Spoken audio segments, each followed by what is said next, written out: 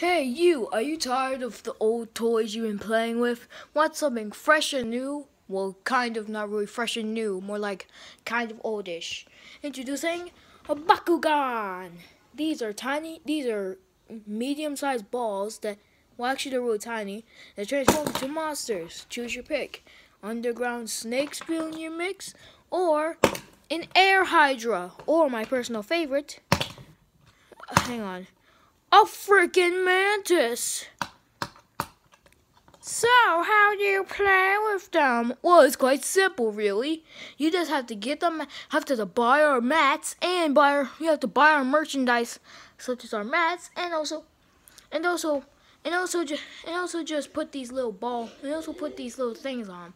But what's so important about them? Well, because some people might have better Bakugan, and they're so much better than Beyblades.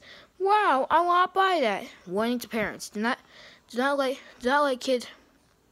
do not like, not, do not like kids, not like kids over the, younger than the age of, of three. Do not like Bakugan, Bakugan, Bakugan, Bakugan Hasbro not are not responsible for any damage, damage or psychological causes from Bakugan. So buy them now. Call. You can find them at well, I think Walgreens, Walmart, and Target. So buy it now.